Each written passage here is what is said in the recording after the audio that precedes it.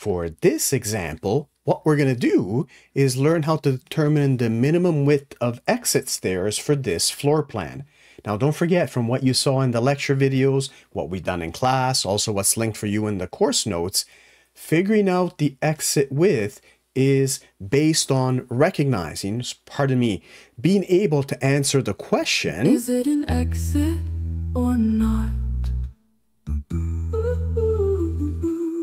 Make sense? Don't forget about that because it's super important, right? Because the word exit is in here, that means we have to use specific portions of the Ontario Building Code, which are different if the word exit were not in there. Okay, we're going to do this question uh, based on the information that we have here.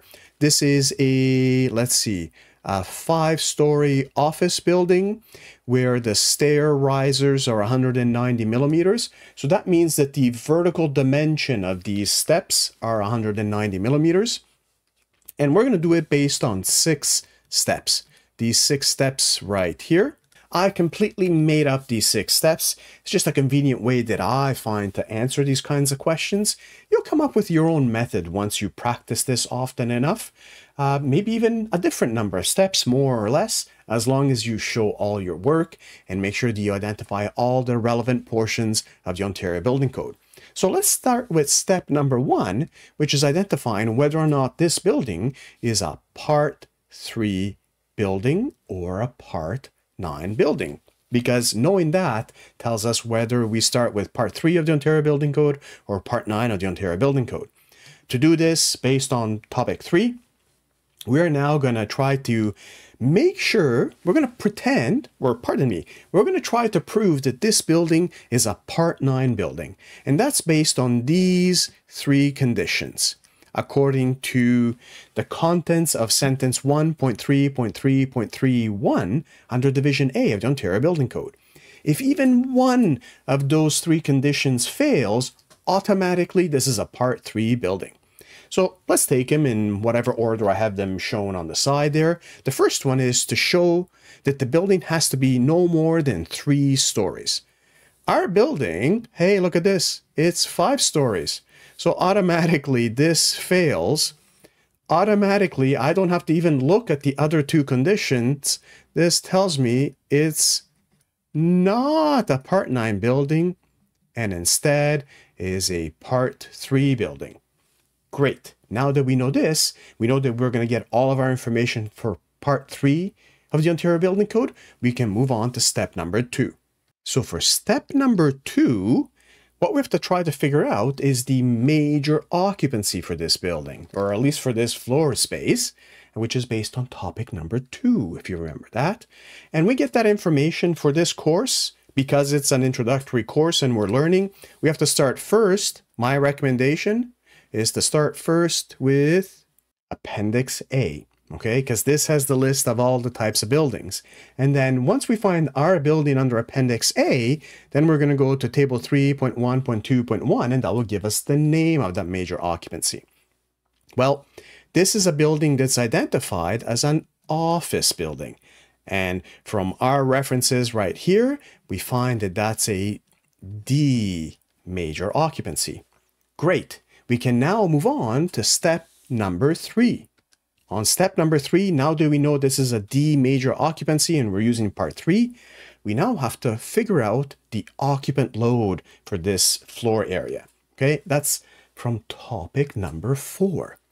The occupant load, if you remember, is based on this formula that I'm showing over here. Is the ratio between the area of this floor, the floor area, and a factor that is obtained from table 3.1.17.1. The area of the floor is 130 meters squared, right? I just got it by multiplying the length and the width of the floor, 10 meters by 13 meters. And the factor from table 3.1.17.1 for this space is 9.3 meters squared per person.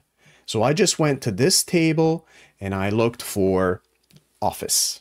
Okay, that, that's all I did. Uh, under D major occupancy. So that's business and personal services. Okay, 9.3 meters squared per person. So when I divide these two numbers, I get 14 people. Okay, so I take those two numbers, I divide them by each other, and I round up, right? Because people are whole numbers. So for each exits, because we have two exits, what's going to happen is the assumption is that these folks, half of them go to one exit, half of them go to the other exit. So for each exit, we get seven people.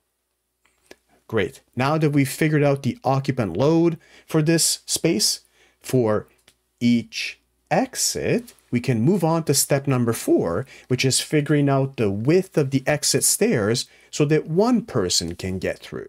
Great. So the because this is a D major occupancy, and from the information that you get from the course notes and the lecture video, the correct portion of the Ontario Building Code to get this information from is sentence 3.4.3.28 under Division B, which then takes you to table 3.4.3.2a. So what this table tells us is that for D major occupancies, for stairs, the minimum width for exit stairs is 1,100 millimeters. Great. We can now move on to step number five to figure out the width of each exit stairs to account for all people. That is the occupant load that we got under step three. So under step number five, I know it's a little busy, but follow along. You've got this, okay? We're gonna get, we're gonna use the occupant load. So that is the seven people that we got from step number three.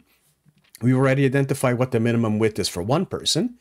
And the appropriate portion of the Ontario Building Code where we get this relevant information is uh, clause 3.4.3.21c under Division B of the Ontario Building Code. You got that information from the lecture video and the course notes that are attached to them. Okay.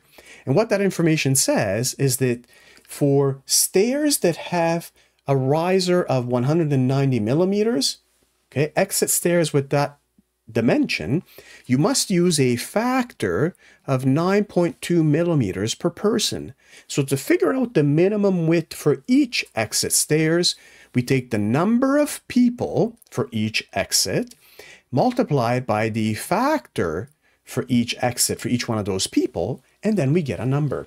So when I multiply those two numbers uh, against each other, I get 64.4 millimeters and I round that up to the nearest millimeters to get 65. Okay?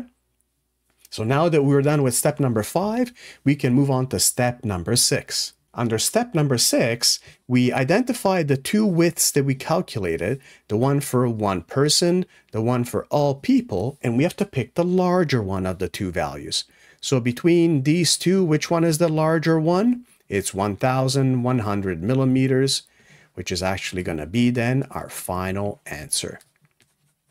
The minimum width for the exit stairs for this floor plan, so that's an office building, uh, five stories, measuring 13 meters by 10 meters, is 1,100 millimeters for each exit stairs. You got this.